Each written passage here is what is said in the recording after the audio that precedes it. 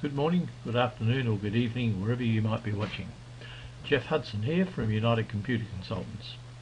I'd like to demonstrate and explain to you, and hopefully teach you, the basics of creating a project using Microsoft Project 2010. The project we'll be creating will be a simple one, landscaping the backyard. When I first open project, I'll see this screen. Here is an area called the entry table. Here is an area called the Gantt chart area and as I add tasks and durations of the tasks when they start and finish I'll also see that a uh, bar chart will appear, a horizontal bar chart called a Gantt chart. Now a couple of uh, tips just before we start. First of all by default when you first start project you'll see that new tasks down here in the bottom left hand corner are um, manually scheduled.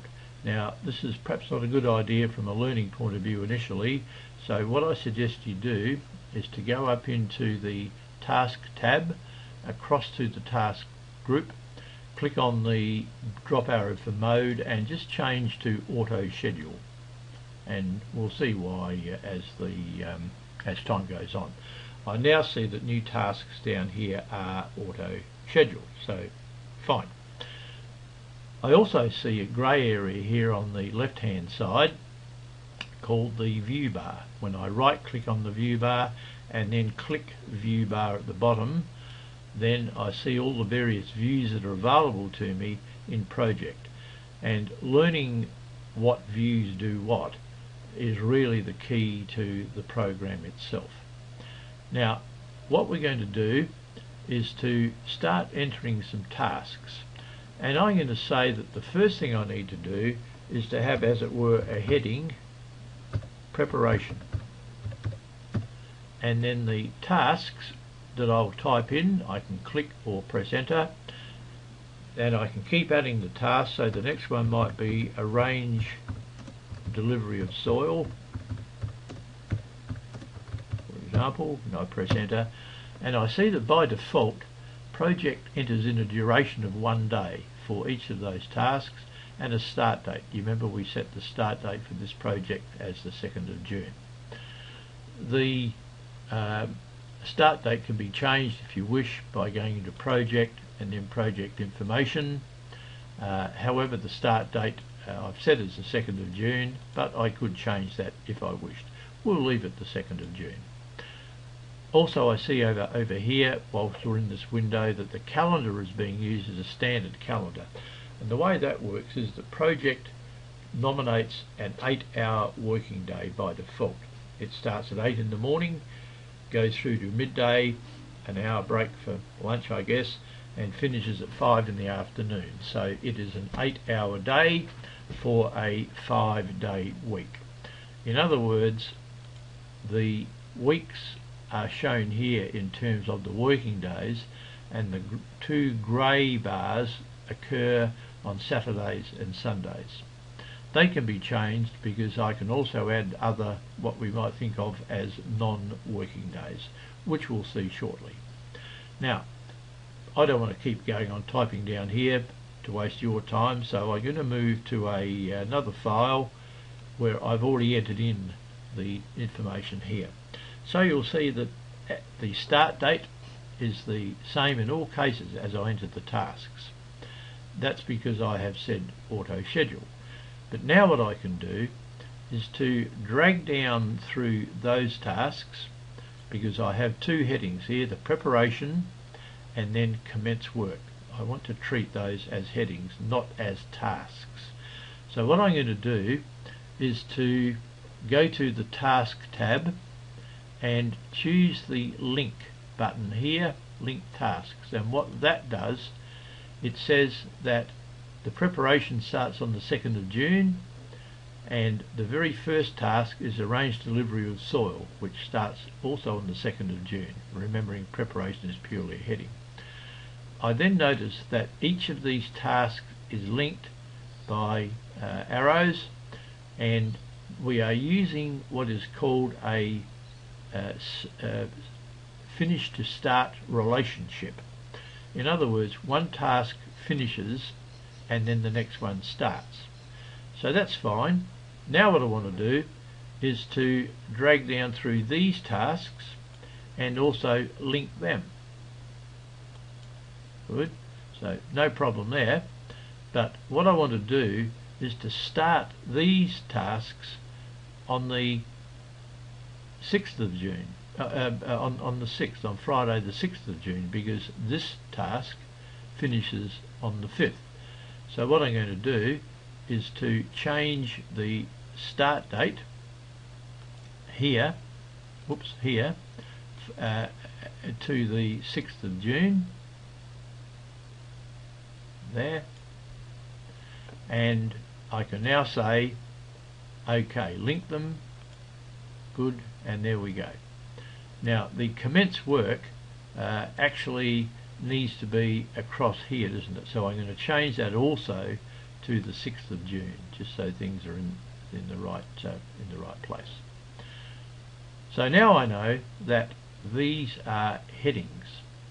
But what I want to do is to drag down through those tasks and if I hold my control key down I can also drag down through those tasks and I'm going to indent them by choosing the uh, in the schedule group the indent task and what that does it indents the task it makes preparation a heading commence work a heading and it says that the preparation lasts for four days and it puts a black bar across the top there that's called critical tasks that's the critical task line. There's another one down here.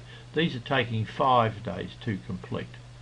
So I've simply uh, added uh, the tasks.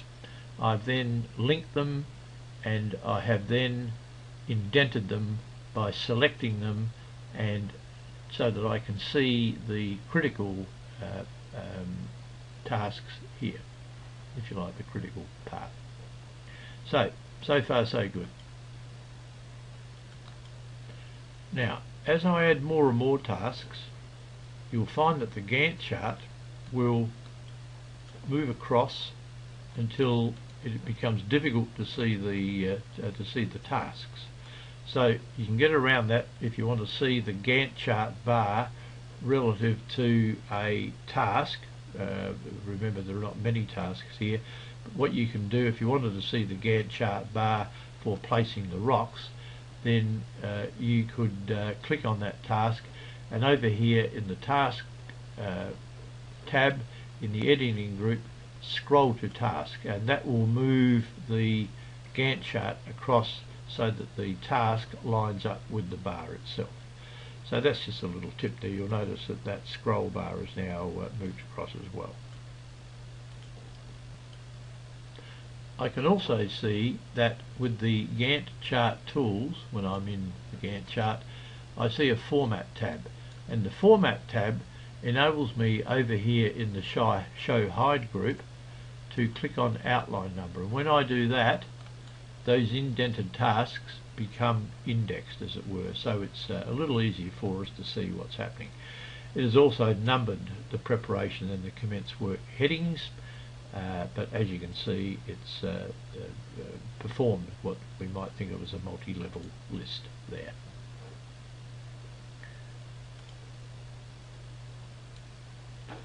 As we can see from the arrows in the links across here in the Gantt chart that as each task finishes the next one starts. Now that's fine, it does that by default but it could be that I can perform some tasks that will that will start when the other uh, before the other one has finished. For example, let's say that I was spreading seed with one hand but watering the seeds in with the other. Now each task has a predecessor and I can see here in the predecessor column that the watering the yard is is preceded by the spreading of the seed. But I'm going to say that I want to start watering the yard at the same time that I am spreading the seed. In other words, I'm going to reduce the time of the uh, of the project by a day. And the way I do that is to double click on this task and I see here in the window that appears that the predecessor of uh, of the uh, watering the yard is the spreading of the seed. So that's fine. What I'm going to do here, I see it's a finish to start, but what I'm going to do is to click there and then choose the drop arrow and I'm going to say it is a start to start. And when I do that and click OK, I see now that the watering of the yard can start at the same time as the uh, as as the uh, spreading of the seed. So I can do that sort of thing. Now, from buying the soil to the removing of the existing lawn, I can't quite see all of that text, so I now notice that I can just drag this like an Excel column if you like. What's going to happen here, I, I need an extra two days from when I buy the soil and uh, the rocks and the lawn seed to when I start removing the, the, removing the existing lawn because the person who is going to be the front end loader and operator has said that he will be delayed by two days. Now remember this task was due to start on the 6th of June and finish on the 6th of June. But what I'm going to do is to say that there is a lag time from when I can start that task after that one. So I'm going to double click on this task and in my predecessor I see that the re the remove existing lawn was preceded by buy the soil rocks and lawn seed. But I need to allow for an extra two days. So I'm going to lag the project by two days. So lagging extends the time of the project. And when I click on OK I now see that there is a two day lag. It's taken care of the Saturdays and the Sundays here uh, and it says that that task will start now on the um, uh, on the Monday uh, sorry on Tuesday the 10th of June. So it's left out the Friday and the Monday. So uh, that's lag time. We'll look shortly at lead time. What is lead time? Lead time is the opposite of lag time lead time is like a negative lag time how does it work well I'm going to say that halfway through the arranging delivery of soil that I'm going to be able to employ the labourer. So I'm going to double click on the labourer and then I'm going to say that the uh, lead time is 0.5 of a day, that is half a day. But I need to make it a minus number because it is the opposite of lag. So I say minus 0.5 of a day. And when I click OK there I see that this particular task has moved in uh, by half a half a um, half a day uh, in relation to the arranged delivery of soil.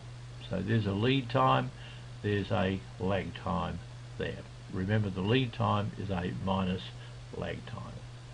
So that started us off on our on our uh, um, uh, project but I also see uh, that I can change uh, the duration of the task. So for example I might say that it's going to take me two days to, to place the rocks.